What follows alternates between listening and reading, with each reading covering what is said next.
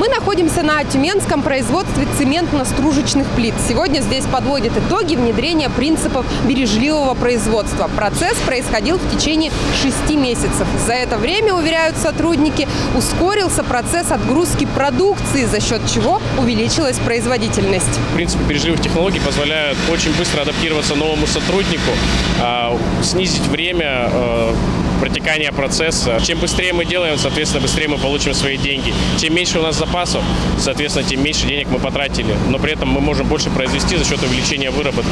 Все получилось благодаря реализации нацпроекта «Производительность труда».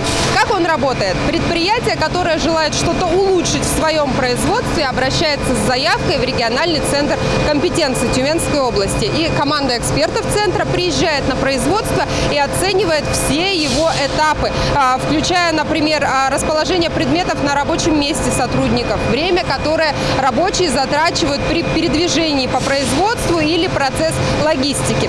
А После этого составляется план оптимизации, который внедряют вместе с коллективом предприятия. Мы применили систему 5С, то есть мы убрали все ненужное, все лишнее с рабочего места.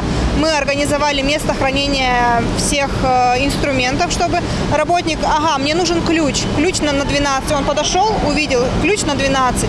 Все, взял, поработал им, там что-то подкрутил, подправил, повесил его обратно.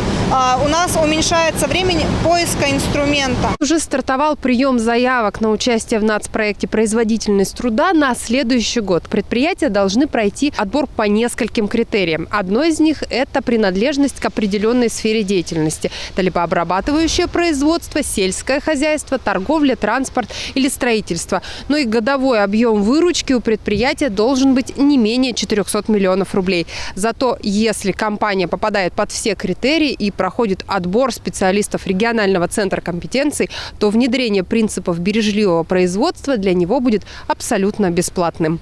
Мария Рянина, Владимир Кондратьев, Тюменская служба новостей.